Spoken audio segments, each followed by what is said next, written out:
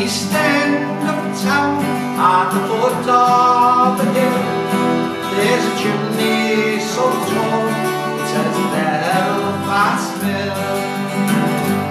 But there's no smoke at all coming out of the stack, for the blue shut down, it's never coming back.